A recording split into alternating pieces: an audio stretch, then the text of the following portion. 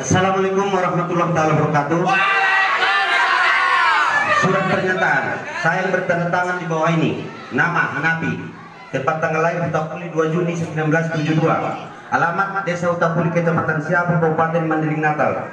Jabatan Kepala Desa Utapuli.